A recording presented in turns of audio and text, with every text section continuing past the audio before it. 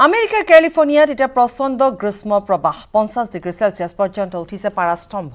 প্ৰচণ্ড গৰমত দিশহাৰা হৈ পৰিছে বিলাসী জীৱন কটোৱা সম্ভ্ৰান্ত নাগৰিকসকল।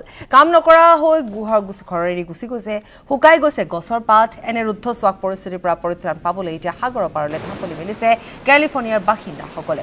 সাগৰৰ পানীত নামি শৰীৰ শীতল কৰিছে নাগৰিকসকলে।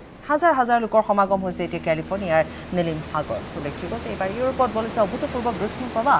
আৰু এই গ্ৰীষ্ম প্ৰবাহ এতিয়া অব্যাহত আছে আৰু যাৰ বাবে এতিয়া দেখিবলৈ পোৱা গৈছে যে কেলিফৰ্ণিয়াবাসী সাগৰৰ তীৰলৈ ঢাপলি মেলিছে।